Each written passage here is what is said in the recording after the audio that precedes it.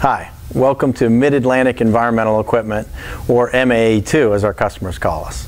My name is Jim Friedel. I am the Regional Sales Manager for MAE2. MAE2 is a company that's been around since 1991 and we specialize in custom groundwater and soil remediation equipment and components and integrated systems. So we have systems pro that provide air sparge SVE, we have high vacuum systems, we have biological and chemical injection systems, pretty much any system or component that you need for your specific, specific site needs. We are a little bit different than most of our competitors.